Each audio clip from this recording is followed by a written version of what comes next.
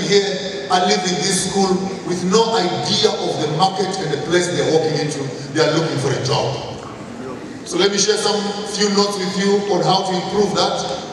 Some of you are in your first year and second year, it's not too late. Third years and fourth years, tough luck. You're already into the teeth.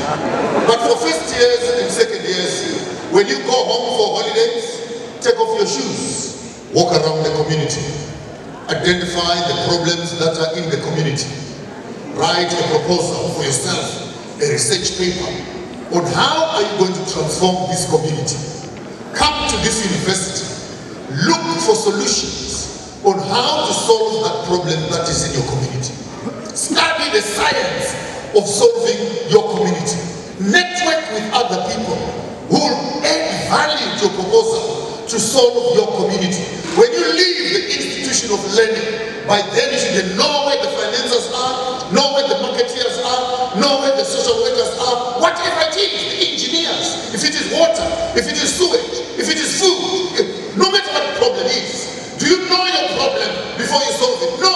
The white man told us, you come to school first, you must study. Then after that, you, you look for a job. Where? And you always go where your skills are appreciated. Then you talk about brain drain.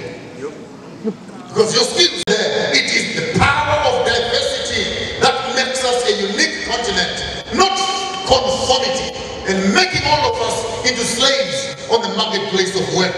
Education is becoming photocopy machines of fools. Ask me why, ask me why. Because we come to learn, we come to study, and when we leave here, first thing we do, I hereby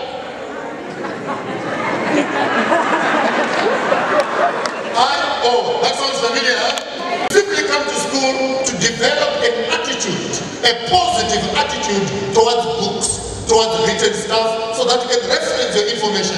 Many of us go through school, but school never goes through, through us.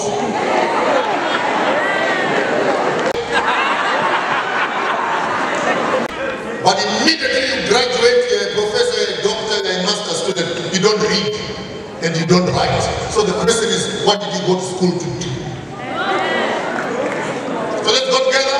The first estate is the estate of, and put some few notices around your head. No illegal landowners here.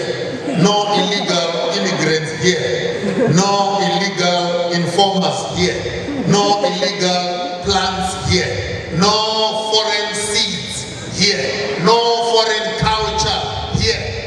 foreign music here. No foreign ideologies here. Because this is a private property. And if you're not careful to hear what I'm saying, you're going to become a coconut. Brown on the outside, white on the inside.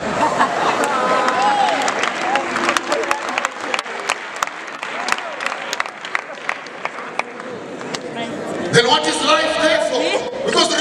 In the world of psychology, every time you try to be like me, you are forfeiting me an opportunity to experience you.